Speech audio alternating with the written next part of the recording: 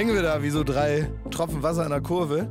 Alles ist aus dem Takt geraten. Das sogenannte Leben, der Biorhythmus, eigentlich die komplette Organisation, die Struktur ist uns abhanden gekommen. Nicht nur uns natürlich, sondern im Leben eines jeden Einzelnen laufen die Dinge momentan ein bisschen anders. Bei mir wirkt sich das darauf aus, dass jetzt, wo wir wieder morgens aufzeichnen, was ja eigentlich mein Wunsch ist, weil ich das Gefühl habe, morgens habe ich die Energie noch zum Verschießen frei.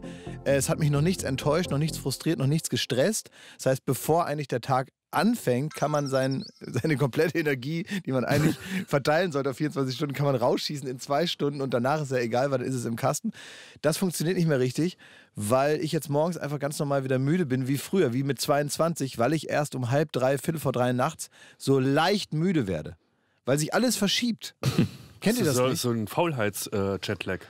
Ja, so. Quarantäne-Jetlag. ja, irgendwie so dreht sich das alles so. Ich daddel dann auf dem Handy rum und dann habe ich irgendwie so ein. So, ich ich habe ja einen Hang für so doofe Spiele auf dem Ja, Handy. du bist spielsüchtig auf dem Handy. Ja. Ja, und ich habe Aber jetzt, es frei raus.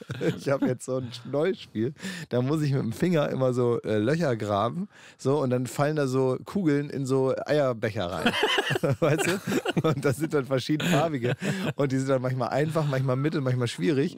Und da bin ich so top motiviert nachts, dass ich da wirklich eine Stunde da noch mit meinen Eierbechern da noch zu tun habe, dass ich morgens kaum aus dem Bett komme. Das ist aber geil. Wie hieß dieses Spiel mit den äh, Nummern, das du Threes. 100 Jahre gespielt Threes, hast? Ja. das spiele ich immer noch Ja. ab und zu. Ja, äh, ich weiß, da, hast du, da warst du so stolz, dass du irgendwie den Rekord, Ja. du warst ja äh, meilenweit uns voraus, wenn's mir, wenn wir es mal probiert haben. Ja. Und da hat's Arne, unser äh, Kollege aus der Firma, der hat das da eine Nacht gespielt, hat einen, äh, deinen Rekord geschlagen und da hattest du erstmal gar keinen Bock mehr drauf, ne? Ich habe den aber schon wieder eingestellt. Ja, und ja. weißt du, wer mich damit angefixt hat, wer mein, mein äh, Spieledealer da war, der mir das so vor die Nase gehalten Wer? hat vor Jahren? Donny O'Sullivan. Ach, Der hat mir Threes Liebe irgendwann mal Grüße. gezeigt. Liebe Grüße, alles Gute, alles Liebe.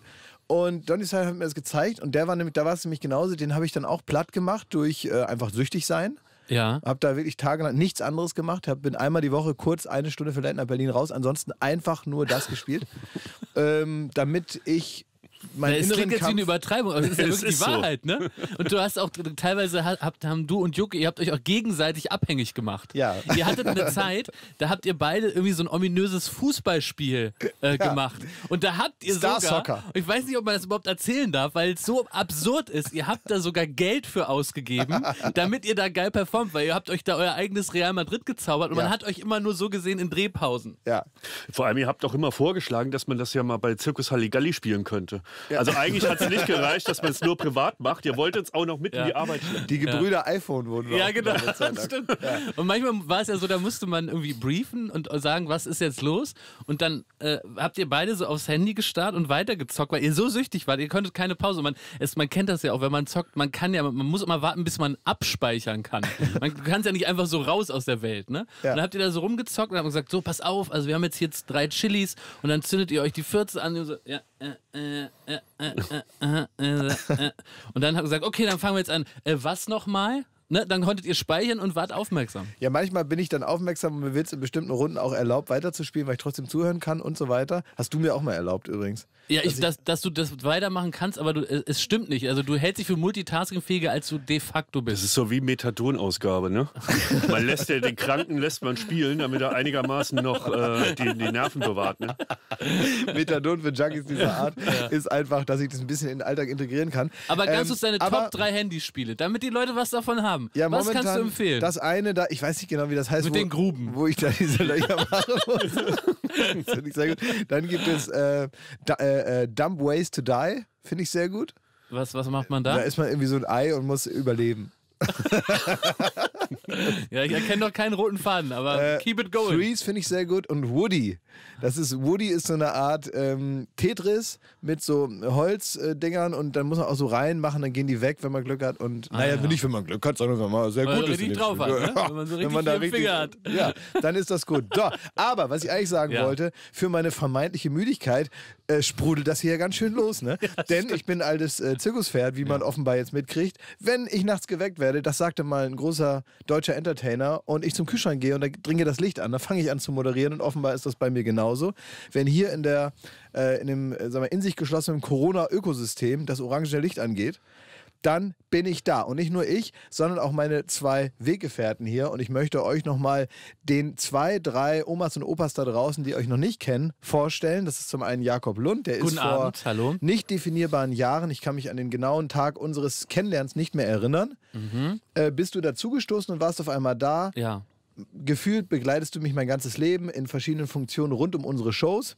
ja. Ähm, wir haben uns äh, gestritten, wir haben gelacht, geweint, wir haben uns in den Arm genommen und gehauen. Wir haben also alles schon durch, was man Was in einem Matthias. Schweighöfer-Song so vorkommen kann. Haben wir alles erlebt, ja. Alles, äh, worüber Matthias Schweighöfer ganze Alben singt, Ja. haben wir alles schon gemacht. Hast du gestritten genannt?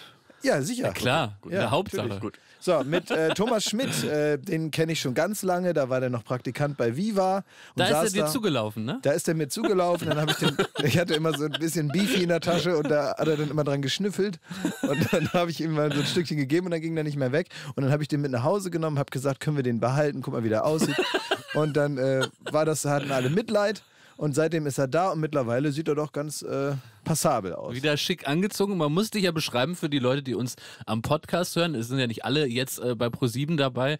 Ähm, du hast wieder ein, ein obenrum Smoking. Was hast du untenrum?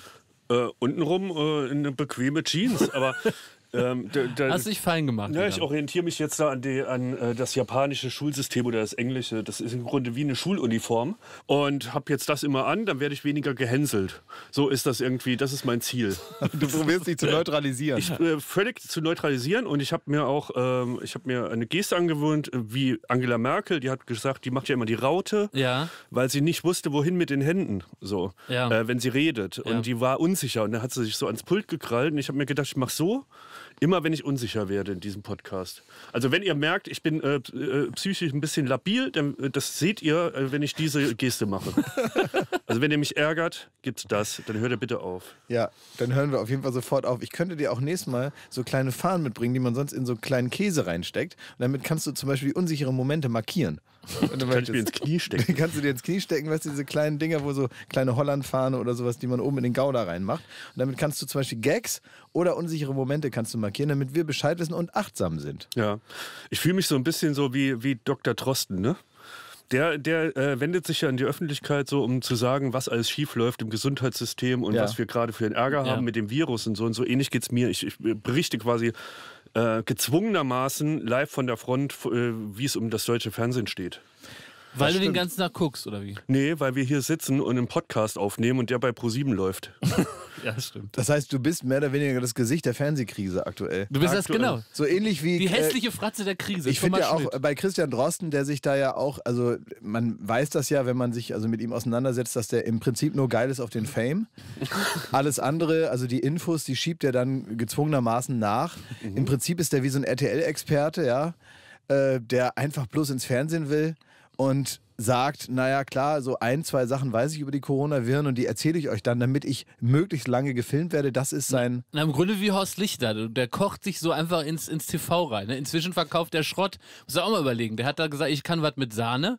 Und jetzt ist der irgendwie äh, Antiquitätenexperte. Man Und weiß so ja gar nicht mehr- der Drosten auch, glaube ich. Ja, man weiß ja gar nicht mehr, dass der Horst Lichter mal Koch war. Genau, das weiß man nicht mehr. Und so, so wird es auch in 20 Jahren. Ja. Sitzt er da im Dschungelcamp zum siebten Mal und man weiß gar nicht mehr, warum der überhaupt berühmt geworden ist. Und so wird es, äh, genau, Ja. bei Christian Drosten wahrscheinlich auch sein, Ja. wenn er seinen teuflischen Plan äh, dann durchzieht, ja, und sich selber prominent macht und schon demnächst in der nächsten Staffel Promis unter Palmen mit dabei ist und äh, oh, oder wie weit kommt Christian Drosten bei Ninja Warrior? Ja. Wie weit kommt er da? ja. st- Äh, Kommt er an diese Wand, weißt du, wo du so springst über das Wasser? Schafft er das? aber ich habe eine Sache, ich äh, suche ja schon seit Jahren nach einem Satz, den ich mir tätowieren kann. Ne? Ich finde es ja, Klar, wer nicht? ja klar, Logisch. Weil mittlerweile ist das neue Ding, das habe ich am Strand gesehen, letztes Jahr, als das noch ging, war ich am Strand äh, in Italien auf Sardinien und äh, da habe ich festgestellt, normale Tattoos oder hier so diese Maori äh, Malereien da, die man äh, völlig Zahnstocher losgelöst, völlig losgelöst von der eigenen Kultur malen sich das ja viele dann irgendwie da drauf. Ja. Ähm, nach japanischen Schriftzeichen und chinesischen Schriftzeichen kommt dann jetzt Maori, wo man so gar nicht mehr weiß, was das eigentlich bedeutet. ja. Hauptsache es sieht irgendwie geil aus. Das neue Ding ist aber, dass Leute, die sich tätowieren lassen wollen, keine Bilder mehr, keine schönen Gemälde, nicht mehr so Airbrush auf der Haut, sondern die beschriften sich jetzt. Man wird ganz normal beschriftet. Man hat unterm Arm beispielsweise richtig vier bis sechs Sätze. Ein ganzer Tweet passt da teilweise hin, der in einer vermeintlich schönen Schrift, das ist immer Geschmackssache, wird ein, kommt, wird ein ganzer Text unter, unter, die, unter den Armen beispielsweise gemalt. Ist euch das noch nie Wie, aufgefallen? wie so die Notizen im, auf dem iPad. Ja, so ein bisschen sieht das so aus, ja. Also na klar, am Anfang fangen die alle an mit so Herzschlag, das erste Herzschlag vom Kind oder sowas, ne? Oder irgendwelche Daten oder so. Aber mittlerweile, so was du sonst halt hast mit den entsprechenden Cappuccino-Tassen, also hier so äh, Wandtattoo. Wandtattoos, Ja. das gibt's mittlerweile, ist wieder zurückgekommen auf den Körper und wird jetzt da gemacht. Carpe Also, diem. ja, genau. Tätowiert Tine Wittler schon. Es könnte sein, dass dann irgendwas steht wie ein Tag ohne Lächeln ist ein verlorener Tag oder diese äh, Bauarbeiter auf dem Stahlträger oder so. Und dann steht, dann steht da aber, Ikea-Bilder als Tattoo. dann ja, steht da aber noch was drunter, ja. So, und ich ähm, habe jetzt bei Robbie Williams, der hat den besten Satz tätowiert. Ähm, der hat auf dem linken Oberarm oder rechten, da ist ein Löwe und drüber steht Elvis, grant me serenity. Das ein super Satz ist. Und den Satz, den ich mir gerne tätowieren lassen möchte, weil ich das eigentlich total interessant finde, den Gedanken dahinter, der ist von Christian Drosten äh, zitiert worden. Also ein Satz, den man offenbar kennt äh, und mit, seinem, mit seiner Arbeit viel zu tun hat. There's no glory in prevention. Ah, da ist was dran. Weil wenn die Vorsorge gut funktioniert, passiert die Sache ja nicht. Das heißt, die Ja, Leute sagen wie ein dann, Held sein. was sollte die Ja. ganze Scheiße? Ja. Warum mussten wir vier Wochen zu Hause bleiben? Es kam ja gar nichts. Es ist das berühmte Klatschen gegen die Elefanten, was ich schon mal gesagt habe. das ist ärgerlich. Ja, du hast recht. In dem Fall funktioniert es natürlich. Wenn man tatsächlich irgendwann rausfindet oder einfach davon überzeugt ist, dass nur das Klatschen die Elefanten davon abgehalten hat, durch unseren Garten zu trampeln, dann ist man eigentlich gut bedient, wenn man sagt, man ist heilfroh, dass die hier nicht durch unseren Garten gerannt sind, weil wir haben ja geklatscht. Aber es wird ganz viele Leute geben, die sagen, bist du bescheuert? Du hättest gar nicht klatschen müssen, die wären eh nicht gekommen. Und das sind die meisten Leute. Deswegen sind das die stillen Helden, die ähm, wissen, there's no glory in prevention. Niemand wird dir dafür danken. Und diesen Satz, den, äh, den tätowiere ich mir, warum auch immer. Es hat ja mit mir gar nichts zu tun, aber ich finde es klingt cool. Ich merke gerade so, also das, das war wirklich eine gute Geschichte, wirklich, ohne Ironie. Aber Dankeschön. kennt ihr das, wenn ihr so müde seid, dass ihr so äh, äh, nur noch auf die Mundbewegung guckt und nicht mehr zuhört? Und ich könnte jetzt nicht sagen, was du gerade erzählt hast, irgendwas mit Elefanten. Ich bin einfach, können wir aufhören, diesen Podcast, wenn wir ihn schon machen, dass wir den auch morgens um 9 Uhr machen. Das Habt ist, ich habe bis nachts um drei Tiger King geguckt. Das Ja. ist sensationell, aber ähm, das, das was, matcht einfach was nicht. passiert dir? Fallen dir jetzt auch die Zähne aus? Was passiert? Wird man Crystal Meth abhängig, wenn man die ganze Nacht Tiger King guckt? Äh, das, das wird man sehen. Was ist denn Tiger King für alle, die jetzt denken? Genau, ich habe es auch noch nicht gesehen. Ich, hab immer, ich lese über Internet Tiger King, Tiger, weiß auch nicht, was es ist. Ja. Schaffst du das, Schmidt, weil du bist äh, äh, stadtbekannter Spoiler. Mhm. Schaffst du es, diese Serie zusammenzuholen oder was auch immer es ist, ohne mir den Spaß zu nehmen? Weil das, darf ich das kurz Oh. einschieben? Schmidt ist so einer, der- der sagt, will ja nicht spoilern, aber Folge 7, huiuiui. gooey. Dann weißt du schon, Was weißt du denn da? Nee, Da weißt du doch einfach. nicht. Ich will die Folge 7 anschmeißen und dann überrascht sein, dass dann huiuiui kommt. Und nicht von dir schon vorher wissen, Achtung, Folge Das ist, ein, 8, ganz das, schön das ist ein. Service für dir, wenn du Ich vielleicht so einen, kleinen, so einen Durchhänger hast bei Folge 4, dann denkst du dir, naja, aber der Das ist Schmidt hat gesagt, die Spoiler. Folge 8 ist mega geil. So, also halte ich durch. Versuch bitte, das zusammenzufassen, ohne den Leuten Mer Spaß merkt zu euch mal kurz diese Eskalation, auf die möchte ich gleich zu sprechen kommen, aber jetzt führt bitte das Gespräch erstmal zu So, Ende. Tiger King. Tiger King, eine Doku-Serie auf Netflix von den Machern vom Fire Festival, von dieser, Ah, äh, dieser großartiger Dokufilm. Genau. Und es geht im Grunde um äh, äh, Großwildtierbesitzer in den USA. Da darf jeder im Grunde so seinen Tiger halten, wenn er Bock hat. Und da gibt es halt, ähm, sagen wir mal, äh, landläufig werden die Rednecks genannt, die so 1000 Tiger, kein Witz, 1000 Tiger äh, so ein Privatzoo haben. Und der, der wollte. 1000? 1000. Der wollte darüber äh, eine Doku machen und da hat sich halt rausgestellt, Eine Armee, das ist kein Zoo, das ist eine Armee. das ist eine Armee. Und da gibt es auch verschiedene im, im ganzen Land verteilt, so private Zoos, und die führen gegeneinander einen Kleinkrieg. Dann spielt noch PETA eine Rolle, dann spielen noch was für Tierschützer eine eine Rolle. Kleinkrieg? Also wa- was ist deren Ärger? Ähm, dass zum Beispiel eine Tierschützerin, die hat auch einen Privatzoo, macht im Grunde so Mhm. ein bisschen dasselbe, aber äh, behauptet für sich, naja, sie rettet die Tiger von all diesen anderen Privatzoos. Von den Besoffenen. Genau. Und macht dann einen eigenen Zoo mit diesen geretteten Tigern auf. Und das ist natürlich den anderen ein Dorn im Auge. So. Und dann Ah. äh, entspinnt sich daraus ein kleiner Kleinkrieg, der aber vollkommen eskaliert. Und das Geile an der Serie ist halt, es sind wirklich Charaktere, die würden jedem Coen-Film super stehen. Aber es ist eine Doku. Ist eine Doku, man kann es nicht glauben, was da passiert, wie sich das hochschaukelt, was es für Wendungen gibt und was das vor allem für Charaktere. Jeder das hat einen mega. eigenen Film verdient. mega gut. Ja, unbedingt gucken. Was würdest du dir denn für ein gefährliches Tier halten? Wenn es jetzt hier in Deutschland genau solche Gesetze gäbe wie in den USA, was würde bei dir in der Wohnung noch wohnen? Ich würde es ähnlich machen wie der Tiger King, nämlich die Tiger, solange sie so süß sind und so tapsig. Ja, So, das so, ist so ein bisschen ja. größere Ja, ja, Katzen. ja, ja. So, so lange würde ich die halten und dann könnt ihr, könnt ihr auch mal vorbeikommen, könnt ihr mal Ja. ein Foto Und machen dann und wird so. an der Raststätte Nee, und dann angucken. erschießen. Schießen. ja. So hat das der Tiger King gemacht. Klassische Tierliebe.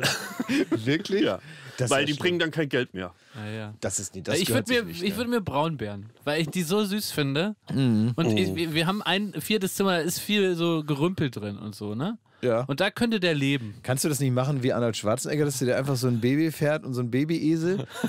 der hat doch Arnold Schwarzenegger, der ja nun, ich sag mal, eine interessante Biografie bereits hat, weiß immer noch auch im hohen Alter mit kleinen biografischen äh, Ausritten nach links und nach rechts doch nochmal zu überraschen. Also nicht, dass er einfach nur Mr. Universe ist, äh, Conan der Barbar, der Kindergartenkopf, dann noch äh, der, der, der Zwilling von Danny DeVito. Nein, er hat jetzt gesagt, es reicht noch nicht. Ich bin offenbar noch nicht interessant und vielschichtig genug als äh, Person der Öffentlichkeit. Und außerdem, wenn ich mal in Quarantäne gerate, möchte ich, dass es super verrückt trotzdem bei mir zu Hause ist. Und deswegen hat er einen kleinen Babyesel und einen kleinen Babypferd. Und die wohnen bei ihm zu Hause, die dürfen auch rein. Die sind also, vielleicht sind die auch normal groß und Arnold Schwarzenegger ist sieben Meter groß. Das ist auch möglich. Das kann ja. auch sein, das weiß man ja nicht. Aber der Küchentisch lässt vermuten, dass die sehr klein sind. Ja. ja. Er Also, spielt ich auch Schach mit denen, ne? Ich habe gesehen, wie der mit dem kleinen I äh, Esel Schach gespielt hat. also da hat er dich verscheißert. Ich Aber wisst ihr, wer diese Videos macht? Ralf Möller. Kein Witz. Ralf Möller? Ralf Möller darf mit Arni in die Quarantäne und darf diese Videos drehen. Der, aber der, oder das war so, dass praktisch da äh, die Quarantäne ausgebrochen ist, als Ralf Möller kurz mal für fünf Minuten zu Gast war. Das und, kann auch sein, Und ja. Arni hat sich gedacht, scheiße, jetzt ist er hier 14 Tage. Der wollte nur Zigarren vorbeibringen und dann Shutdown. Ne? ja, und der hat es wahrscheinlich selber absichtlich gemacht, damit er dann 14 Tage da drin ist und der Social Media Beauftragte von Schwarzenegger wird. Aber sag mal, was für ein Tier würdest du dir halten? Es muss ein gefährliches Tier sein. Ah, ja, aber die gefährlichsten sind doch so super durchgeknallte Affen. Und die würdest du dir halten? Ich habe mal im Thailand-Urlaub äh, auf der Terrasse gesessen, äh, jeden Morgen, ja, und habe dann mir da mein Frühstück da so hingestellt auf den Tisch und so und alles stand dann da. Und dann habe ich so aufs Meer geschaut und so auf den Berg runter und es war richtig herrschaftlich, war ganz toll. Und als ich dann fertig war, kamen dann so kleine Affen aus dem Wald und die haben dann schon so gegeiert auf meine Melonen. Und die saßen dann da schon, haben so um die Ecke geguckt und gedacht, naja, der ist ja gleich fertig, dann essen wir das auf. Hast du Und das dann- gehört, das Gespräch? Hast du das belauscht? Hab ich belauscht, wie die gesagt haben. Ja, das war natürlich Thai, ist ja klar. Ist ja klar, Die ja. können ja kein Deutsch. Logo. Aber ähm, man schnappt ja Sachen auf und weiß. Sabadika. Ja, sie reden einfach über Melonen. Ja. Irgendwie im Großraum Melonen. Ist ja unangenehm, wenn es um einen selbst geht. Ne? Man hört dann so Gesprächsfetzen aus der. Das kenne ich von der Massage. Ja. Naja, und, Die Kaman. und sie nach vorne sind immer sehr, nett, aber, aber, aber, aber sobald praktisch sie das Gefühl haben, sie werden nicht gehört, äh, zeigen sie ihr echtes Gesicht. Und so was bei den Affen auch. Die Ja. haben gesagt, sobald das Arschloch drin ist, hauen wir so klauen mit dem alles, was der da noch hat. Ja. Und dann habe ich die dann so gefüttert mit Melone. Das ist jetzt wirklich lieb, passiert. ja. Und habe denen das so gegeben und dann kam so ein kleines Äffchen über den Tisch an, hat mir die Melone abgenommen, hat mich noch so süß Äffchenmäßig angeguckt und so. Und irgendwann war die Melone wirklich nach acht, neun Stücken, also so richtig viel. Ne? Das ging dann immer weiter. Immer war Melone vorbei und dann hat der Affe probiert, mich zu beißen. Das so eine Penner sind das nämlich. Und dann wurde auch immer gesagt, man soll aufpassen, dass wenn man da hinten hinterm Haus da in den Wald reingeht, dann kommen die Affen an und beißen ein und die haben irgendeine Krankheit, dass man selber dann auch mit Schaum vom Mund dann da unter einer Palme liegt. Deswegen soll man da nicht reingehen, weil da kommen die vom wilden Affen gebissen. Ach, Gibt es daher doch, kommt's. Es gibt doch auch die, denke ich mal, die Formulierung vom wilden Affen gebissen. Und ich wollte eben nicht vom wilden Affen gebissen werden. Deswegen, ich würde mir einen wilden Affen halten, glaube ich, um einfach zu beobachten, was passiert. Du hast aber schon irgendwie so ein komisches Verhältnis zu Tieren, ne? Wie? Also Wie? wir haben schon mal im Podcast erzählt, dass du äh, in der Schweinebucht da in, auf den Bahamas mit den süßen Schweinen, wo alle Instagrammer so Fotos machen, Ja. Als wir da gedreht haben, äh, hattest du wahnsinnig Angst davor, dass sich diese Schweine beißen. Völlig berechtigt. Es gibt übrigens die Videos dazu. Hast du auch gesehen, ne? Ja. Ja, es kommt mal vor. Es wird auch mal jemand vom Blitz erschlagen, ne? Ja. So. Gut. Und dann jetzt sind es auch noch die Affen, ne? Also im Grunde so die zwei süßesten Arten von Tieren, so kleine Schweine und. Also so die süßesten Arten von Tieren, die einzigen, die tatsächlich Kriege führen wie wir Menschen, das sind Schimpansen.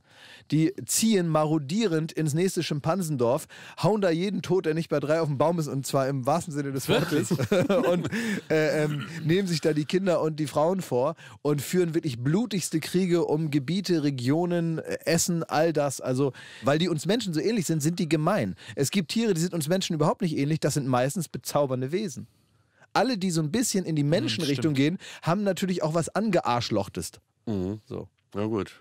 Sag mal, äh, wie, ich weiß nicht, wie es euch geht, aber wir haben die Pro-7-Zuschauer gar nicht begrüßt. Also ich weiß nicht, Klaas, du bist der Fernseher. Wollen die jetzt hier persönlich begrüßt Sagt werden? man nicht eigentlich, wenn man im Fernsehen eine Sendung beginnt, also so habe ich das bisher wahrgenommen, dann sagt man doch mal guten Abend, wir machen hier jenes, wir machen hier dies und wir senden hier einfach so fröhlich unseren Podcast runter. ja, so ist das doch, und ich habe irgendwie so ein bisschen schon die Erwartung, dass du die Leute mal professionell begrüßt. Also mich nervt das zum Beispiel immer als Zuschauer, ne? als Moderator natürlich nicht, wenn die Leute klatschen und nicht mehr aufhören. Finde Das ich stört, das, wenn es zu finde, lange ist, ja. Finde ich das Ja. toll als Moderator, weil ich Klar. denke, ähm, ich kann es gebrauchen. Ja. Machen Sie bitte weiter. Das kommt genau in die Lücke, äh, die meine Persönlichkeitssteuerung hinterlässt. Dies wird gefüllt mit Applaus und super. Sagt doch mein Therapeut, das spart uns allen viel Arbeit, wenn da viel applaudiert wird einmal die Woche. Ja. Aber als Zuschauer ist es nervig, weil man denkt jetzt, haltet die Fresse, seid nicht so begeistert davon, dass ihr da seid. Ich bin nicht da, ich sitze vorm Fernseher, ich will, dass es losgeht. Es ist wertvolle Sendezeit, ich will, dass der jetzt Witze erzählt. Ähm, der soll, die, äh, bitte jetzt nicht noch Standing Ovations, setzt euch endlich hin, haltet's Maul. Der soll jetzt anfangen, seine Arbeit zu machen. Das denke ich als Zuschauer. Du würdest bittere Tränen weinen, wenn sich die Zuschauer dran halten würden. Ja, ich weiß. Wenn du rauskommst bei Late Night und die machen, Man merkt, dass du müde bist, weil ich habe vorher gesagt, dass ich das geil finde, nur als Zuschauer finde ich es nicht gut. was ist mit den Elefanten? Übrigens. Begrüßen wir jetzt die Zuschauer oder nicht? Ja, wir begrüßen die. Begrüß sie doch mal wie so. Hallo, meine lieben, herzlichen äh, Zuschauer, meine Damen und Herren, bei Pro7, we love to entertain you. Schön, dass ihr alle da sind. Und da merkst du sofort, wenn du anfängst, in diesen Pro7-Duktus zu gehen, wie äh, unnatürlich diese ganze Sache hier wird. Ne? Ja, das stimmt, das passt nicht so. Sag mal, was war eigentlich, wo du sagst jetzt Elefanten, ne? Was war mit diesen besoffenen Elefanten da? Was war mit denen los? Das sind doch so Nachrichten, die hast du doch hundertprozentig gelesen. Irgendwo waren besoffene Elefanten unterwegs. Ja, wo war das denn? Ich glaube, in Thailand äh, ist so eine, eine Herde Elefanten, die ist in so ein, äh, in ein Traubenanbaugebiet gelaufen. So, und die haben dann diese Trauben da gefressen und die waren dann sturzbesoffen. und dann, dann gibt es so ein schönes Foto, das können wir auch einblenden, äh, wie die Elefanten besoffen in diesem Traubenfeld liegen und, und da den Rausch auspennen. Naja, jeder geht anders mit der Krise um. Es gibt sie noch, die guten News. Ne? Ja, wirklich, oder? Also finde ich äh, tatsächlich eine total schöne äh, News. Übrigens, es gibt eine Sache, die wir eigentlich, die wollte ich euch jetzt mal mitbringen als kleinen Gesundheitstipp. Da muss man jetzt überlegen, wie eitel sind wir und wie sehr hängen wir am Leben. Zwischen diesen zwei Sachen muss man sich jetzt ähm, entscheiden. Eigentlich sind unsere Vollbärte, die wir ah, haben, das habe ich auch schon gedacht, ja. ein Riesenproblem. ja. Weil in unseren Bärten, vor allem in meinem, also absteigend, ne? meiner ist der schlimmste, weil ich so Ludas-mäßig zugewachsen bin mittlerweile. Dann kommst du und ganz am Ende dein mittlerweile ja schon fast ordentlich geschnittener Bart ist der am wenigsten schlimmste, aber immer noch ein Bart, der eigentlich nicht sein muss. Es ist wie ein Klettverschluss für Viren. Ja. Also hier hängt alles drin, was da eigentlich nicht rein muss und man kann, du kannst den nicht desinfizieren die ganze Zeit. Naja, Es wird schon wer gehen. sagt das? Also wir müssten den eigentlich abschneiden. Ja, stimmt. Ne? Camp, warum kommt das für dich in Frage? Weil du hast, du hast äh, am Montag bei Late Night Berlin gesagt, äh, du willst, dass man am Bart ablesen kann, wo wir in der Krise stehen. Will- deswegen willst du den wuchern lassen. ich möchte, nach der Krise soll man an mir ablesen können, was Deutschland hinter sich hat. genau. Oh, Leute, wisst ihr, dass das Desinfektionsmittel, dass, dass die Augen tränen? Ja, das sind Das ist wie- 80-prozentiger Alkohol. Oh, fucking hell. Du kannst aber auch trinken, Schmidt. Das, das wäre doch ein cooles Live-Experiment. Dann können wir dem Jenke mal so ein Schnippchen schlagen, weißt du? Dann, dann machen wir das große Schmidt-Experiment und du haust dir hier mal so einen Eimer rein. Nee, und dann unter dem Vorwand von innen desinfizieren. Ja. Also eigentlich müsste man den Bart abmachen. Also es kommt für mich nicht in Frage, weil Warum ich nicht? sehe dann aus wie eine junge, freche Frau in den 40ern und ähm, das, äh, da sehe ich mich noch nicht. Sagen wir Du mal so. aus wie eine junge, freche Frau in den 40ern, die gerne eine dicke Steppweste trägt und mit, mit dem Hund durch den Wald läuft. Ja, die so, so, einen Gold, so einen Golden Retriever hat. Du siehst dann aus wie so eine, so eine junge, freche Frau, Ja. die gerne im Garten ein bisschen rumwühlt. Die könnte auch evangelische Priesterin sein. Irgendwie so, weißt du, in diesem, in diesem Dunstkreis. Wie, du wolltest dir doch auch mal einen Frauennamen geben, weil du so einen Spleen haben Ja, Dagmar. das habe ich, das hab ich glaube ich, in der allerersten Folge erzählt, dass äh, ich mal überlegt habe, ob, ob ich äh, möchte, dass man mich Dagmar nennt. Ja. Weil im Grunde leben wir in einer sehr, sehr offenen Gesellschaft und jeder kann so ein bisschen ja definieren. Gott sei Dank, möchte ich sagen. Bitte nicht mir schreiben. Wo jeder so ein bisschen selber definieren kann, wie er angesprochen werden möchte, als was er sich empfindet. Und ich habe überlegt, ja Mensch, wäre das nicht okay, wenn ich sage, ich fühle mich heute diese Woche wie eine Dagmar? Vollkommen okay. Klaas? Ja, ich bin dafür. Also nennt mich heute gerne Dagmar nochmal. Also, Dagi, Fand altes. Saufloch. Ja. Was ich noch. Aber um es abzuschließen, Bart bleibt, ist, Ja. ist es keine Option. Option. Option heißt es. Da kommt der Berliner durch. Ich wollte eine Sache erzählen. Es gibt ja momentan überall Schilder. Ne? Schilder ist das neue Ding. Äh, Deutschland ist ja sowieso schon so ein Schilderland. Ne? Schilderwald wollte es jetzt nicht sagen. Ne? Nee, Das aber- Klingt wie Mario Barth. So ist es. Aber Ja. manche Leute reden ja auch wie Schilder und so. Das ist ja so in Deutschland so. Ne? Und trotzdem schwingt ja manchmal ein gewisser Grundton mit und auch so eine Atmosphäre, wie man Sätze formuliert. Und gerade wenn man die auf Schilder schreibt, meint man zu hören, wie derjenige es meint, der es draufgeschrieben hat. Versteht ihr? Wenn Ja. man es falsch Ja, macht. Und äh, momentan gibt es überall Schilder, die meist sehr freundlich, auch standardisiert darauf hinweisen, dass man Abstand halten soll, was ja auch total gut ist. In Supermärkten steht es auf dem Boden ne, oder es wird nochmal durchgesagt. Ja. Äh, und dann wird gesagt, wir bitten Sie darum zum Schutz aller und so weiter. Seien Sie bitte so nett und wir wollen doch alle hier zusammenhalten und das heißt eben ein bisschen Abstand nehmen und so weiter. Eigentlich ganz schön. Jetzt war ich in Brandenburg und da ist ja sowieso grundsätzlich der Ton ein anderer.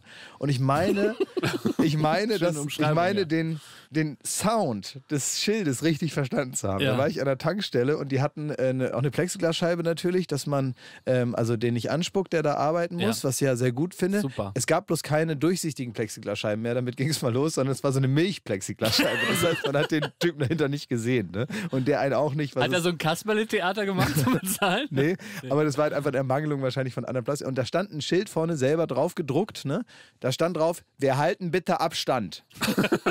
und, Ja. Und wenn man da weiter drüber nachdenkt, wie angepisst dieses Schild, das wirkt wie ein ungeduldiges Schild, ja? Ja. Wir halten bitte Abstand. Junger Mann, wir halten Junger bitte Mann. Abstand. Nee, weil da liegt der Vorwurf schon drin. Es ist nicht so, wir, wir möchten Sie bitten, einen Abstand einzuhalten, so zur Information, sondern es ist schon so, äh, da hält man wieder keinen Abstand. Wir halten hier bitte Abstand. Junger Mann, hören Sie bitte. Ich hab das so- schon zehnmal ja, ja, gesagt. genau. Ich werde das nicht noch ein elftes Mal sagen, dass wir hier mal bitte Abstand halten. Ist das so schwer zu verstehen? Ich habe heute eine ganz kurze Zündschnur und jetzt wird hier mal verdammt nochmal Abstand gehalten. Ist das so schwierig? Wir müssen hier arbeiten und Sie kriegen es nicht auf der Reihe, mal ein bisschen Abstand zu halten. Also wir halten hier mal ein bisschen Abstand.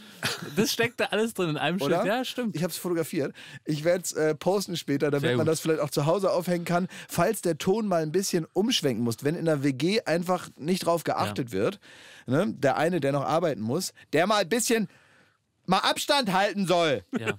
Und wir haben das gesagt, wir haben das in der Mitarbeiterbesprechung hinten im kleinen Raum, haben wir gesagt, dass wir hier Abstand halten. Und nur kommen hier alle naselangte Kunden rein, obwohl das durchgegeben wird in den Tagesthemen und teilweise auch in Radio, wird da durchgegeben, dass wir Abstand halten und keiner hält sich dran. So, und da dachte ich, vielleicht muss man als Schild ein bisschen mehr Geduld beweisen. Ja, ein bisschen höflicher wieder. Apropos ähm, Autorität. Ich bin mit dem Gesetz in Konflikt gekommen gestern. Ich hörte davon. Ich habe ja gar nichts von gehört. Wie kann man denn zu Hause mit dem Gesetz in. Ja, pass auf.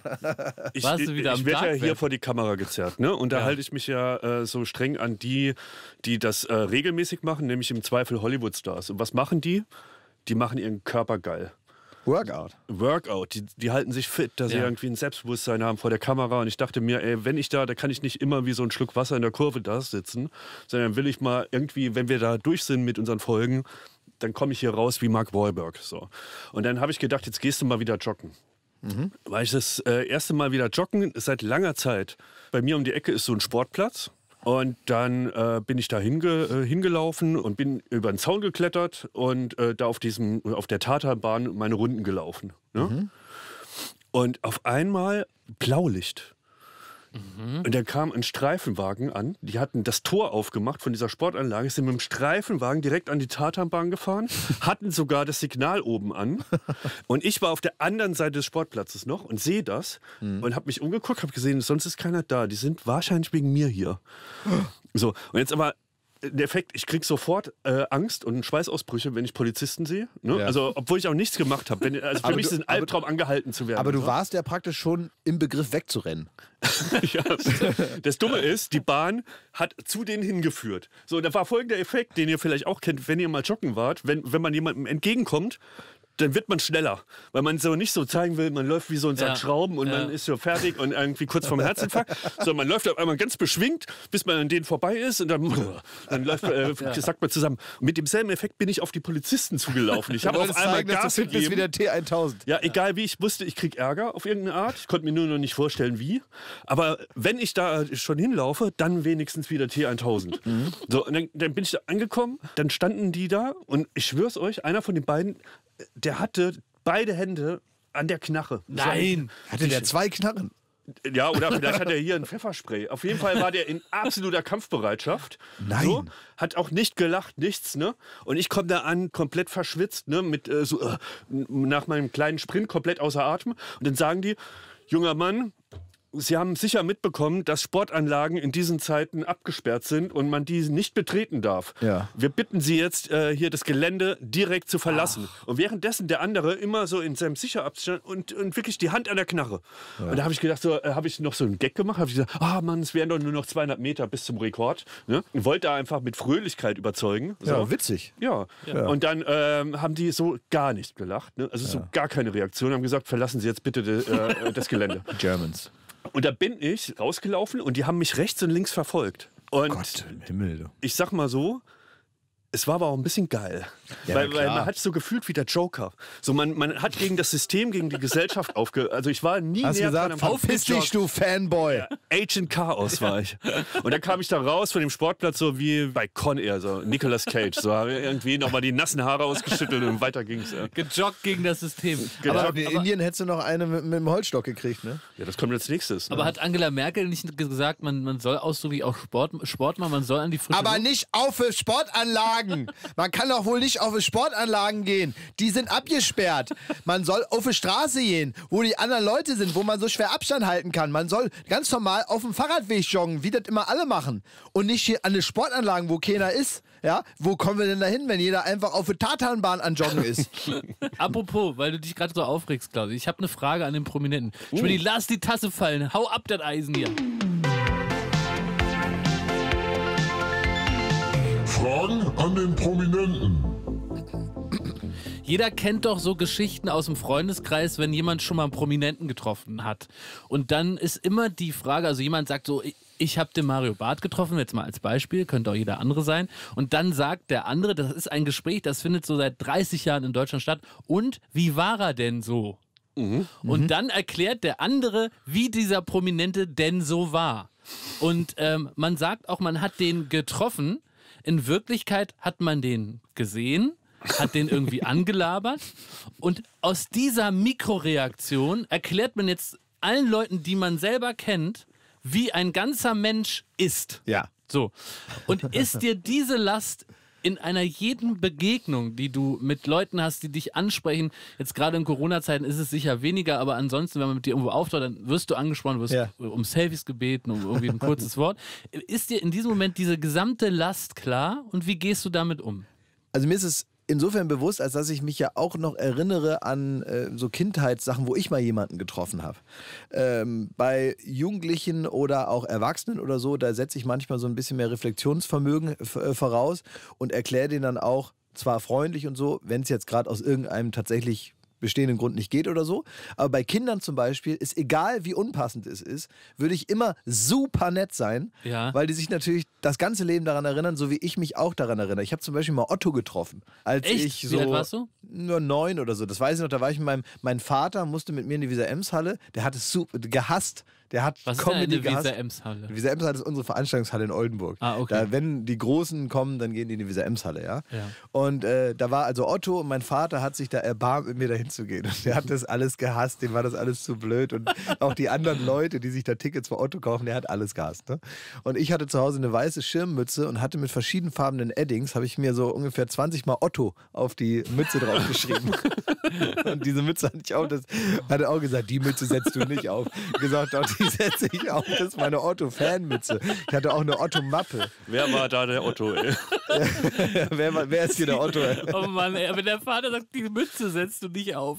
Nee, die hab ich, das war eine, mein, Vater, mein Vater hat doch beim Fisherman's Friend gearbeitet. Ja. Und, ähm, und das war eigentlich eine Fisherman's Friend Werbemütze, die aber sonst weiß war. Ne? Und da stand also Die vorne Mütze Fisherman's Friend. Fand ich auch einen sehr guten Folgentitel. Die Mütze setzt du nicht auf. Und dann äh, hatte ich immer meine Mütze auf. Und dann äh, hat Otto noch Autogramme verteilt. Und ich war gar, bin gar nicht da bis da vorgekommen, weil ich so klein war und irgendwelche erwachsenen Assis natürlich sich vorgedrängelt haben. Und ich habe so vier, fünf Meter hintergestanden und ich habe also gar nicht mit Otto direkt geredet, trotzdem erinnere ich mich noch, als wäre es gestern, da hat ihn irgendwer beim Autogramme schreiben, hat ihn gefragt, Otto, wie alt bist du denn jetzt? Und dann hat Otto gesagt, wie spät haben wir es denn? Das ist witzig. Und das fand ich so ultra witzig. Ja. Und ich fand es auch so nett, dass der nach der Show, da war schon das Putzlicht an und so, und da standen also noch so 10, 20 Leute dann so vor der Bühne direkt, dass der dann auch wirklich nochmal rausgekommen ist und Ach, dann nochmal mit ja. uns allen da gesprochen hat und so. Und ich habe eigentlich nur so weit weggestanden und mir den angeguckt und da hätte ich auch gar nicht gewusst, was ich sagen soll. Aber Otto ist, glaube ich, so ein Sonderfall. Der ist immer auf, auf Senden. Mir hat ein äh, Freund erzählt, der hat den in der Hotellobby gesehen. Und der Manager hat für Otto den, den Schlüssel geholt und hat Otto den so hingeworfen. Und Otto ist extra in die andere Richtung gelaufen. Ja. Weißt du, so, wie so ein ganz, mit so einem Otto-Gang. Und das ist natürlich wahnsinnig witzig. Ne? Ja, das ist doch lustig. Aber wie, also genau, das heißt, wie. Und deswegen probiere ich immer super nett zu sein. und stört dich das nicht, dass, also weil ich dachte, man könnte vielleicht mal so ein Plädoyer machen für euch Prominente, Mhm. dass man sagt, liebe Leute zu Hause, die es jetzt auch sehen, wenn ihr einem Prominenten ihm, ihm Es- begegnet ja. und ihn dann um einen Selfie bittet, dann ist das doch nur eine, eine Minute. Eine Minute aus dessen Leben, eine Minute aus eurem Leben. Da, ihr könnt daraus nicht schließen, wie der denn so ist. Weil der ist vielleicht schon 50 Jahre anders. Na, das stimmt aber Oder nicht es ist gerade Nein, morgens. nee. Oder es ist gerade abends und er hat einfach nur keinen Bock. Nee, das stimmt nicht. Selbst wenn ein, einer- ein, ein Wort der Warnung. Ein Wort der Warnung. Wenn du jetzt sagst so, dass man sich da immer gut benehmen muss, Nee, muss man nicht, aber, aber weil das ist, hältst du auch nicht auf. Das, das werde ich auch nicht aushalten, aber man merkt trotzdem an dieser einen Minute, wie derjenige so ist. Ich würde dir da widersprechen. Also selbst wenn einer äh, müde ist oder sonst was, man kann schon sagen, dass der dann so und so ist. Es würde dir mit Thomas Gottschalk nicht passieren, dass du ein negatives Erlebnis hast. Und Das der stimmt. wird, der ist, wenn stimmt. der Also das vor dir durch Das die ist richtig. Security-Check geht, der moderiert den Security-Check Ja. wie wetten das. Ja. Der geht da rein und sagt, ja hier, Gürtel ausgezogen, super hier, noch einmal wirklich gucken. Hab ich auch schon Rechtes gesehen, Bein ja. hoch, linkes Bein hoch, jawohl, Der hier. geht durch dieses Tor, was du hast, ne? wo, wo, wo du gecheckt wirst. Geht der wie durch das Tor von Wetten das? Ja, der nickt danach Ja. den, den Mitarbeitern auf der anderen Seite vom Security-Check-Tor, nickt der zu, wie den Zuschauern, wie dem Bürgermeister in der ersten Reihe in der Stadthalle Ja. Böblingen. Hier, danke, ah, hier, meine Flüssigkeit, tue ich wieder zurück. Super, Dankeschön, schönen Tag noch. Und für alle ist es, wir haben heute den Gottschalk gecheckt. So, und äh, Gottschalk ist aber schon wieder mit den nächsten zugange, während die noch gar nicht begreifen können, was ihnen gerade passiert ist. Und das wirst du immer haben mit Thomas Gottschalk. Der ist nun mal so. Der Ja, ist oder so. sein Wesen ist das, was der Anzug hier für mich repräsentiert. Das ist einfach ein Schutzschild. Er ist niemals er selbst. Er Ja. ist einfach niemals er selbst. Doch, er ist Und so. sobald Nee, er das Haus verlässt, ist er ist er so. äh, Show. Nein, er, Nein, er ist so. Er ist so. Es ist ein Glaub. Sendungsbewusstsein Ja. und vielleicht hat sich das irgendwann diese öffentliche Person mit der Privatperson, die vielleicht ganz früher, als er ganz jung war, Glaub noch etwas, etwas mehr noch aneinander Wie geschmolzen. bei Moneyboy, Wie ein bisschen wie bei Moneyboy. der irgendwann sein eigenes Image geglaubt hat. Irgendwann ist es ein bisschen wie bei Moneyboy oder Jacqueline Phoenix, als er aus dieser Mockumentary irgendwie kaum noch rauskam. Ja? Ähm, aber dann gibt es andere Prominente, da weiß man, dass zum Beispiel Stefan Raab jetzt nicht dafür bekannt ist, äh, im goldenen Anzug durch Köln zu laufen und zu sagen, wer will ein Selfie? Das ist einfach nicht sein Ding, sondern er ist lieber privat. Das nimmt man ihm aber nicht übel. Und wenn man sagt, ich bin hier gerade mit den Kindern, ich bin hier gerade auf dem Weg in Urlaub, ich esse gerade, und man das freundlich sagt, gibt es eigentlich kaum jemanden, der, der dann weggeht. Es sei denn, die Leute sind ein bisschen besoffen, da muss man halt so Methoden anwenden. Aber als wir neulich bei einem Italiener essen waren, da, da hat sich das anders verhalten, oder? Er, erzähl doch mal, wie war denn das? Ja, da muss ich dich aber in Schutz nehmen. Also wir saßen eigentlich genauso zu dritt ne? und haben gespeist.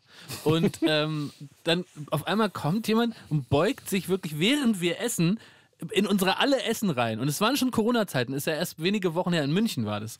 Und will dich irgendwie in ein Gespräch verwickeln. Und dann hast du einfach nur in dein Essen geguckt, hast ganz langsam hochgeschaut. und Na, gesagt, Moment, eine Sekunde. Äh, äh, ins Gespräch verwickeln heißt erstmal, der stand so da, wirklich über unserem Essen, Ja. und der hat nichts gesagt. Der hat einfach erstmal nur gemacht, na, also, wie ist das hier? Dann hast du hochgeguckt und gesagt, hast gesagt, was gibt's?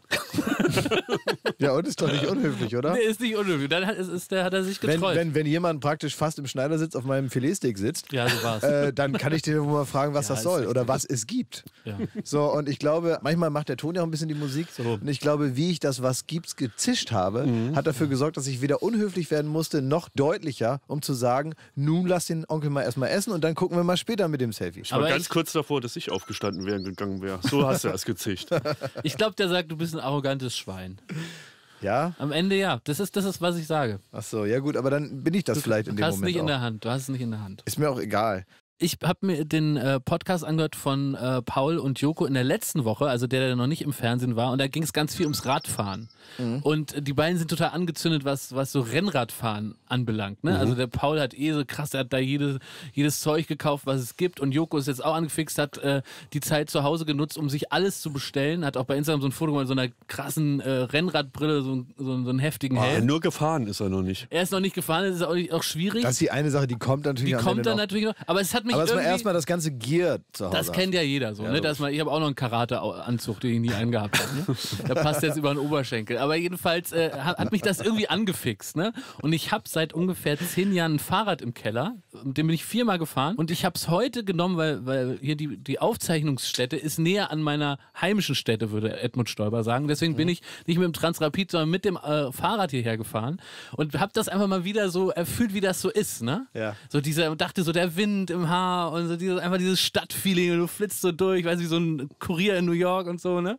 Aber ich musste nach zwei Minuten habe ich schon gekeucht, weil ich erstens nicht beherrsche, wie man ein, ein Tempo fährt, was gleichmäßig ist. Ja. Ich fahre alle Gänge aus, bis ich wirklich kurz vorm Infarkt stehe. Und was mir auch wieder auffällt, es gibt zwei Menschengruppen. Es gibt die Schwitzer, hallo, das bin ich. Und es gibt Leute, die nicht schwitzen. Die Klaas rot werden. Die, Klaas zum Beispiel schwitzt überhaupt nicht. Noch nie in seinem Leben geschwitzt. Aber ich schwitze sofort. Und deswegen bin ich auch heute bei minus drei Grad hergefahren, weil ich dachte, da werde ich vielleicht nicht so doll schwitzen. Weit gefehlt. Mein Hemd war komplett nass, als ich hierher gekommen bin Boah, ih. richtig verschwitzt und Fahrradfahren ist total scheiße. Und das Schlimmste an Fahrradfahren ist, dass dich andere Leute so frech überholen. Und da habe ich gemerkt, das kratzt an meinem Ego, dass Leute Wer andere mich Leute, andere, äh, Autos oder was? Nein, andere Fahrradfahrer. Ach so. Ja. Weil ich auch kein schneller Fahrrad fahre, weil ich nicht fit bin. Und da werde ich ständig überholt. Du musst und das ja ist ein, das will ich einfach nochmal, darauf will ich hinaus. Das ist ein Gefühl, mit dem ich menschlich nicht gut zurechtkomme, ich so dir frech warum. überholt zu werden. Ich sag dir warum. Weil du da ganz falsch rangehst. Du bist nämlich so ein richtiger Funktionsfahrradfahrer. Guck mal, ich zum Beispiel in Oldenburg, ich musste die ganze Zeit mit dem Fahrrad fahren, weil da gab es keine U-Bahn. Ja. Die Busse Ja. kommen alle Nase lang mal, was weiß ich wann. Da Ja. willst du auch nicht mitfahren, weil das bringt dir gar nichts. du hast gar nicht gedacht, ich nehme heute mal das Fahrrad. Nein, ich musste mit dem Fahrrad fahren und zwar jeden Tag. Bei Wind und Wetter bin ich zur Schule gefahren, ich musste in die Stadt fahren, ich musste zum Gitarrenunterricht jeden Donnerstag um halb fünf hinten am Klärwerk vorbei. Das war eine Scheiße. Und ich habe das gehasst. Fahrradfahren war für mich kein schöner Sport oder so. Damals gibt es nicht so Gedanken wie, ich hole mir jetzt ein Fixie-Bike und das muss ganz besonders dünne Reifen.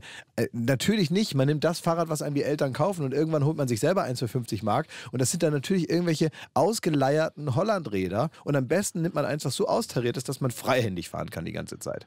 Das habe ich gemeint. Ich kann freihändig um Kurven fahren. Ich kann neun Kilometer freihändig fahren, ohne einmal den, den Lenker anzufassen beim richtigen Fahrrad. Und Nicht dann macht schlecht. Spaß. Weiß Tommy Gottschalk davon?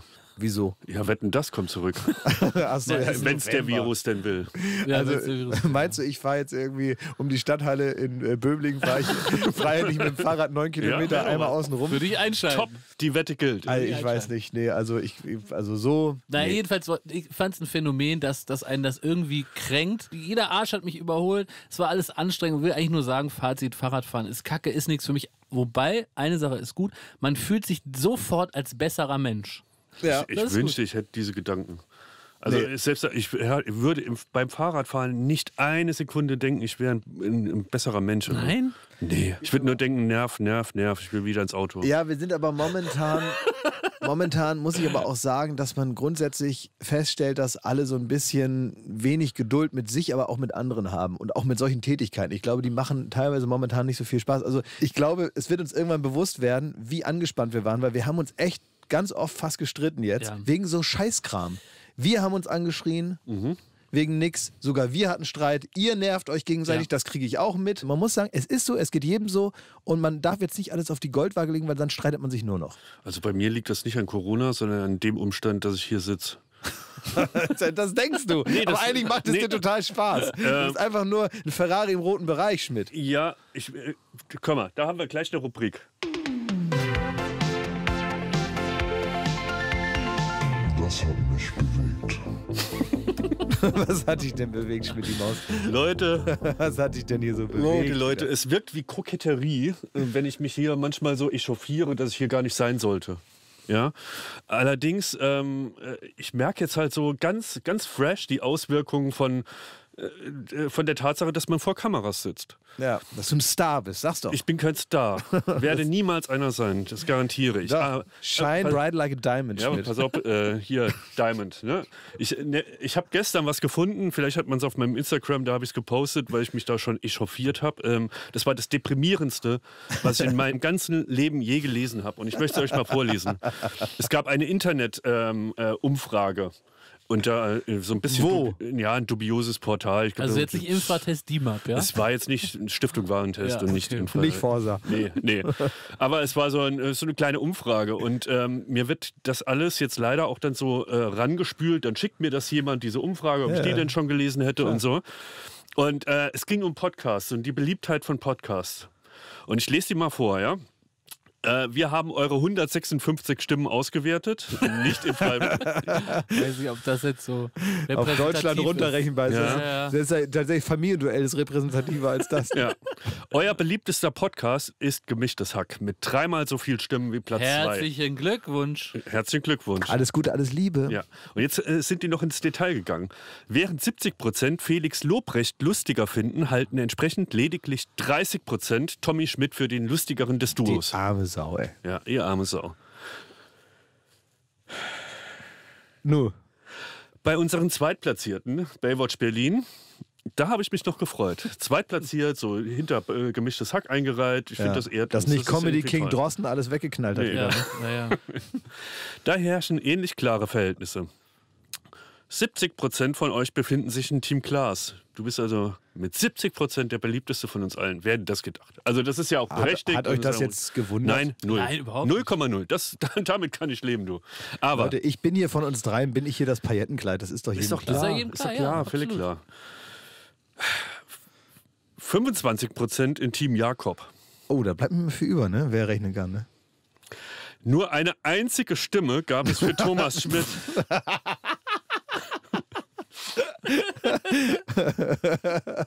Daumen hoch für Oh. Mechthild. In Klammern, vermutlich ist er einfach zu kindisch. Dieser kommt insofern auf gerade einmal 5 Prozent. Ist auch schon traurig, wenn eine Stimme 5% 5%, ausmacht. Das heißt schon mal, das sind äh, Oh Mann. Zustände wie. Äh, Was hat es mit dir gemacht? Ähm, ich wünschte, ich könnte sagen, es ist an mir abgeperlt, so, äh, aber ich bin hier nicht der Teflon-Don, Ja. sondern das hat, mich, das hat mich bewegt. aber äh, äh, Schmidt, das ist doch, also bei Tinder wird man sagen, it's a match. Ruft die Person an, geht mal einen Kaffee trinken und lernt euch mal kennen. Das Schlimme ist, ich habe das gepostet auf Instagram Ja. und ich wurde doch beschuldigt, dass ich der eine gewesen wäre.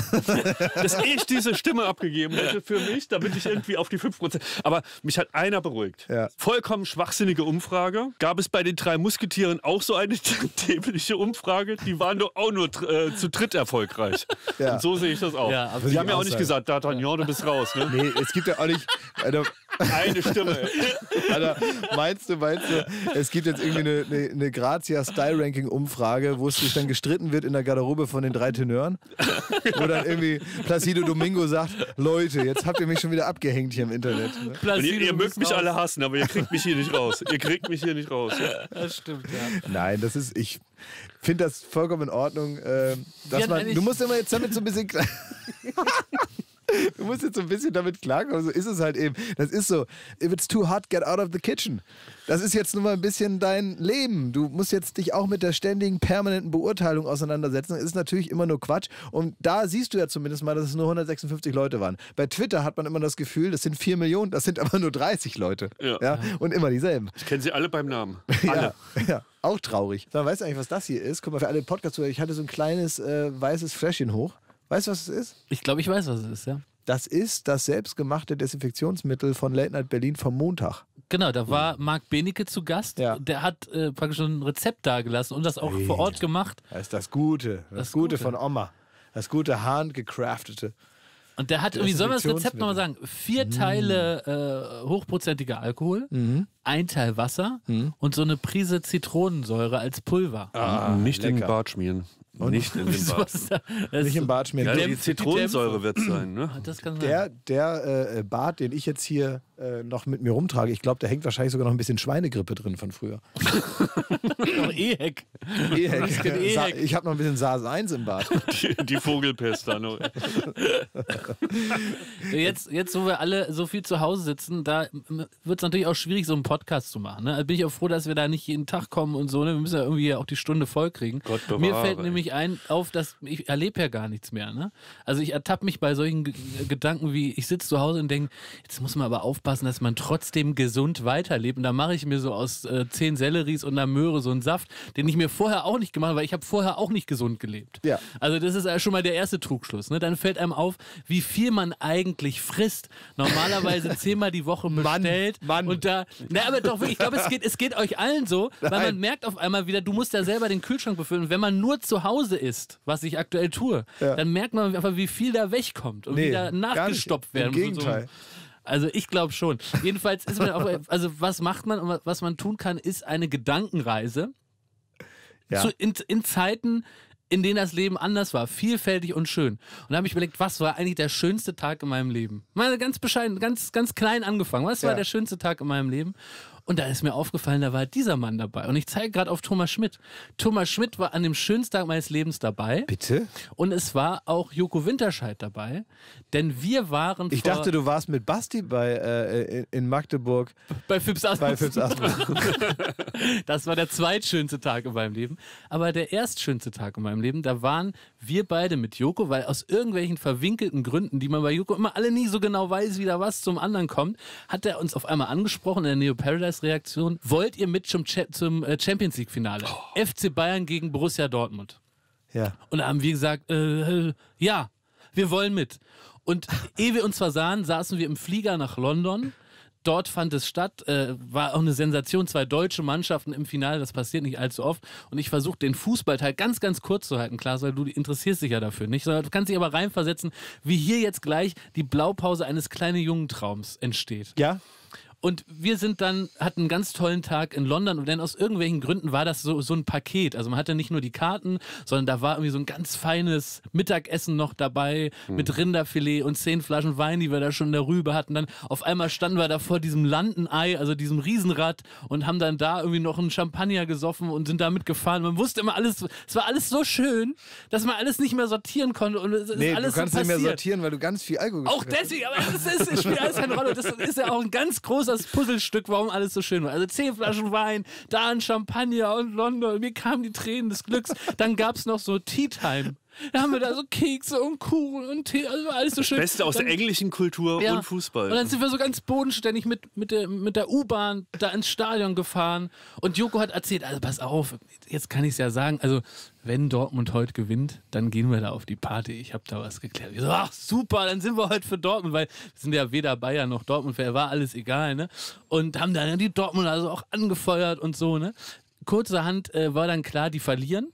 Dann waren wir irgendwie Bayern-Fans auf einmal, weil Joko sagt, was mal irgendwie, ähm, ich guck mal, ich schreibe dem äh, Mario Gomez mal. Und wir so, hey Bayern, oh, super. Und, ne? und dann, sind wir, dann sind wir in irgendwie so eine Rooftop-Bar in, in London City wieder äh, gewesen, haben dann da irgendwie, keiner wusste immer, warum alles, was das passierte. Haben uns da auch irgendwie ordentlich einen Dann so reingestellt. ein Abend wie so eine Wasserrutsche. Ne? Wirklich. Und dann war da äh, Paul Kalkbrenner völlig neben der Kappe, Mhm. würde ich mal umschreiben, hat dann da irgendwie rum, ist da rumgegeistert und wir dachten so, das war ja schon der Abend unseres Lebens. Und dann hat Joko gesagt, der Mario Gomez, der würde so heimlich uns äh, so Bändchen rausschummeln, wenn wir jetzt zum Bayern Hotel fahren. Dann sind wir zum Bayern Hotel gefahren und so wie es sonst unser Redaktionskollege Thomas Martins macht, dass man so ein halb zerschnittenes, heimlich zugeknotetes in die Uhr und ins Hemd gesteckte Band an zehn weitere assige Freunde so verteilt, Also damit die abdrücken. alle irgendwie reinkommen. Kam der echte Mario Gomez, der gerade Champions League-Sieger geworden ist, raus und ach ja, pass auf, ihr dürft es nicht sagen, der Kalle darf uns nicht- nicht sehen, der Rummenige und der Hönes, die sind da auch, die sind gerade beschäftigt. Ich habe euch hier mal so ein Band dran. Das macht er einfach dran und dann geht er selbstbewusst durch. Und dann hat er uns da die Bänder rausge Ich weiß rausgeholt. noch, der hat sich so vorgestellt, hat gesagt, hallo, ich bin der ich Mario. Bin der Mario, ja, ja. Und wieso? Äh, äh, Mario, komm. Der echte. Und der so, äh, ich bin Mario, zack, zack, zack. Super lieb, super nett. Und dann sind wir da reingeschlossen. Und jetzt äh, musst du dir vorstellen, ein Festsaal. Und mit einer kleinen Bühne, äh, Thomas Müller, Bastian Schweinsteiger tanzen so, die Unterhose auf dem Kopf, wo wirklich Rambazamba, da stand Kai Pflaume und hat irgendwie ein Bier getrunken, mit dem Papst gefühlt, ne? Und dann irgendwelche andere, und wir standen einfach in den Bayerns da, da der Robben, da der Ribery, noch ein Foto mit denen gemacht. Äh, dann ähm, ist etwas sehr, sehr Peinliches passiert. Etwas sehr, sehr Peinliches. Neuer? Äh, Die, der Neuer-Incident. Da, ähm, Manuel Neuer. Manuel Neuer, da habe ich beschlossen, ich hole uns mal einen Gin Tonic, nachdem wir also diese ganzen Eindrücke irgendwie versucht haben zu verdauen. Und vor mir drehte sich an der Bar Manuel Neuer mit seinen Getränken so in mich rein um. Und dann habe ich den so angestarrt und habe gesagt, gutes Spiel. Und bin dann weitergegangen. Also das Schlauste, was mir eingefallen ist, ist war, zum Welttorhüter Manuel Neuer zu sagen, gutes Spiel. Und der hat dann so geguckt, mhm, und ist weitergegangen. Ja, das war doch ein gutes Spiel auch. ja, aber man sagt doch nicht, gutes, Spiel- also gutes Spiel sagt man nicht. Er hat Manuel Neuer gelobt. Gelobt. Ja, als Dicker der Mann. Vater da in der dicker, besoffener Mann mit zehn Flaschen Wein darüber sagt dann gutes Spiel. Also da würde, werden ihm nicht Tränen der Rührung gekommen sein. Ne? Nicht. Und jetzt ist das passiert, was diesen Tag zum schönsten Tag in meinem Leben gemacht hat. Auf einmal ist der Champions League Pokal, der echte Champions League Pokal nochmal so durchgegangen. Jeder Bayern-Star nochmal den hoch und Robben da die Bude gemacht, das Ding nochmal hoch und so, ne? Und irgendwie haben wir unsere Schmiergriffe an diesen Pokal gekriegt, nachdem Joko so Bilder gemacht hat, wo er den so auf den Kopf gestellt hat und so dämlich gegrinst hat, hatten auf einmal Schnitt, Schmidt und ich dieses Ding in der Hand, ne? Ja. Und wir haben nichts dafür gemacht. Nichts wir hatten dafür den Champions League Wir hatten Pokal. den Champions League Pokal in der Hand, haben den hochgereckt. Es gibt noch ein Foto, das kann man vielleicht in dem Zusammenhang nochmal hochladen. Und wir waren die zwei glücklichsten Herren auf der Welt. Und wir sind dann in Gönn ich unser euch. Kleines äh, Bums- und Schmierhotel, so Ibis auf Englisch, äh, 60 Euro die Nacht gefahren. Und der Taxifahrer, dem haben wir nochmal den ganzen Abend erzählt. Und der konnte es nicht glauben. War der schönste in meinem Leben. Siehste. Der war begeisterter davon als du. Ja. Na, ich bin da, ich, also was ich, ich gönne euch total eure Freude und ich kann mich ja auch daran noch erinnern, da Ja. habt ihr mir ja schon damals irgendwie drei Wochen von erzählt und so. Dieses War so Foto, schön. weiß ich ja, wie das aussieht, wie ihr da guckt, wie so Neunjährige, die irgendwie was geschenkt bekommen. No, die da, no, no. Und, naja, ihr seid dann einfach sehr gut aus, wie sehr betrunkene Neunjährige Ja. seht ihr aus. Aber ihr seht auf jeden Fall, kommt euch das Glück aus jeder Pore geschossen. Ne? Jede Zelle eures Körpers war glücklich, hatte man den Eindruck. Es war und so, das gönne ich euch und das ist total schön. Äh, und es gibt ja auch mal genug zu meckern, wenn man einfach mal sagt, das war schön. Das freut mich ja auch. Ja. Ne? Ich weiß aber auch, wir sind da rumgelaufen wie Falschgeld. Und ich erinnere mich bis heute an den Blick. Es gab äh, äh, Franck Ribéry und, wie heißt der Holländer? Arjen Robben. Arjen Robben. Die saßen da nebeneinander und die haben sich so, so ein bisschen miteinander geredet und haben dabei uns angeguckt. Und ich habe die ganze Zeit gedacht, Alter, die, die wissen, dass wir hier jetzt nicht die Sportler sind. Wir kommen auch nicht aus dem Medizinstab. Also, die lassen uns gleich rauswerfen. Und ich sag mal, der, der, der Ribéry, der sieht ja auch ein bisschen gefährlich aus. Ne? Der sieht ja ultra gefährlich Und aus. die, und die Familie von dem auch. Also wir hatten Angst, dass wir dann aufs Maul kriegen. sind, die, sind das so eine Flodders oder was? Nee. Also ja. Ja? ja. Ist das so? ja. Er hat noch so einen Bruder, der sieht auch so aus wie er und die, aber mit mehr Muskeln. Ne? Ah ja, okay, also ganz sympathische, Ja, ja. normale Sympathischer Leute. Trupp. sympathische Truppe. Aber, aber es ist ja sowieso mal witzig, wenn so, ähm, oder was ich lustig finde, ist, wenn so verschiedenste Prominente, die man jetzt gar nicht so zusammenbringen würde, du hast es gerade gesagt, hier Kai Pflaum und der Papst oder sonst wer, so, ne, Ja. das denkt man, das ist ja. Aber Kai Pflaume war wirklich da. Ja, ja, klar, der ist ja immer da bei sowas, ja. Fliegt ja auch mit den Bayern tatsächlich Ah, dann da mit beneide ich ihn und sehr so. drum. Ja, irgendwie Ja. hat er sich da reingegenschert und darf dann da immer mitmachen. Äh, aber es ist ja auch so, dass ähm, manchmal gibt es so Veranstaltungen, da schafft man ja gar nicht eine ganze Runde. Man weiß, hier sind sonst was für Prominente und man weiß gar nicht, wer alles. Ja. Ist auch eigentlich egal so. Ja. Ne?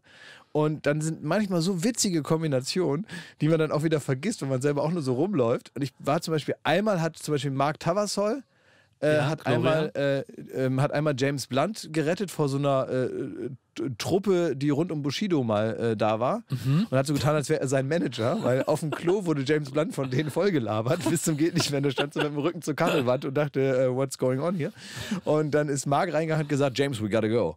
Und hat einfach so aus dem Nichts getan, als wäre er James Blunt Manager und hat ihn damit gerettet und hat dann ihm so nur verbindlich, Gentleman's Agreement mäßig die Hand geschüttelt und gesagt, thank you, mate. Und war dann weg.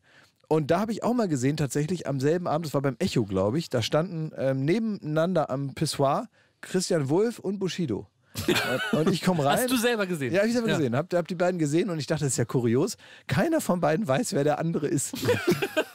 Keiner weiß, wer der andere ist. Das ist total witzig. Damals war Christian Wulff, glaube ich, noch Ministerpräsident von Niedersachsen. Aber Leute, ich habe noch so viele Themen und wir, leider ist die, die Sendezeit vorbei. Ne? Ja, Ja. so ist es.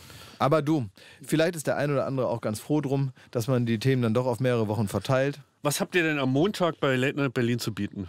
Äh, da haben wir eine Menge zu bieten. Äh, es kommt unser guter, geschätzter Freund Micky Beisenherz. So ist es. äh, der nun immer äh, interessante Gedanken zur Lage der Welt hat. Deswegen finde ich ihn tatsächlich, der hat ja seine Kolumne und so und alles, was aktuell so passiert, finde ich, ordnet er sehr gut ein, sehr lustig dabei auch und ist ein sehr guter Freund und äh, ich freue mich sehr, dass er kommt und er ist ja immer mal wieder zu Gast, gehört zur Familie und äh, da gehört er auch völlig zurecht rein, weil das ein super Typ ist. Und du und Stefanie Hertel, Volksmusik-Legende Stefanie Hertel, ihr habt Senioren glücklich gemacht in dieser schweren Zeit. So ist es. Wir haben den äh, Mitbewohnern eines alten Stifts äh, hier in Berlin ein Konzert dargeboten, in dem wir mit einem großen Bus, wo oben eine Bühne drauf ist, direkt vorm Altenheim nein. geparkt haben. Und ha da hat Stefanie Hertel hat vier oder fünf Songs gesungen für die. Die standen alle am Fenster, soweit es der Luftzug zuließ. Und äh, es wurde offenbar getanzt und sich gefreut. Eine Frau wurde 100 Jahre alt an dem Tag. Da haben wir noch ein Geburtstagsständchen gesungen, damit also zwischen Kuchenessen und Mittagessen und Abendessen mal ein bisschen was los ist, damit man was hat, an das man sich erinnern kann, auf das man sich freuen konnte. Wir haben das angekündigt, die Überraschung. Das ist nämlich besser im Altenheim, dass man Überraschung vorher anmeldet. Da wurde überhaupt keiner verarscht. Es war nicht irgendwie komische, zynische Gag-Kram, sondern es war einfach nur schön. Und äh, das hat mich äh, ganz zufrieden Also wenn das gemacht. nur halb so rührend ist, wie ich mir gerade vorstelle, dann Das können wir uns am Montag alle gemeinsam anschauen bei Late Night Berlin und noch mehr. Also irgendwie, ähm, es wird auf jeden Fall eine Menge passieren. Ich freue mich auf die Sendung. Die machen natürlich unter anderen Umständen, aber die machen momentan trotzdem viel Spaß und ich hoffe, äh, das geht den Leuten vom, äh, vom Fernseher auch so. Also wir sind da mit äh, viel Freude mit dabei und äh, schauen mal mit den Möglichkeiten, die wir momentan haben, dass wir da gute Shows machen und so. Und irgendwie kommen wir doch durch diese ganze Kackzeit irgendwie durch. Das kann man ja auch mal sagen. Diese, irgendwann wird dieser Corona-Mist vorbei sein. Das weiß man eben auch. Wann genau, kann man nicht sagen. Aber wir schauen da jetzt mal hoffnungsvoll und positiv äh, in den Tunnel rein und sehen da hinten schon so ein bisschen Licht aufblitzen und irgendwann wird er vorbei sein und äh, mit der Gewissheit, glaube ich, lebt es sich doch ein bisschen einfacher. Am äh, Montag wird es auf jeden Fall bei Late Night Berlin wieder äh, Spaß geben. Jede Menge Spaß. Wie der Typ vom Girls Camp mal gesagt Ja. hat. So, Leute, das war Late Night Berlin. Äh, du merkst ja deine ganzen Themen für nächste Woche. Die Ja. kannst du dann rausschießen wie ein Vulkan, wie eine Lavabombe an Wir Gags. fragen dich ab. Wir fragen dich ab. Musst du das jetzt noch sagen? Ja, das, äh, Und äh, wirklich, ich habe gerade so was Schönes gesagt. Du machst so einen Furz da noch rein, du Idiot, ey. So, also. Tschüss, Jakob. Mach Ne? nochmal. Oh, ihr seid so richtige Kinder, ey. Und du wunderst dich, dass du nur eine Stimme kriegst. Mit deiner Toilettenspülung. Komm, drück ey. noch ein. ich arbeite bei, an, die, an der zweiten. Äh. Mama, was machen wir denn hier? Nein.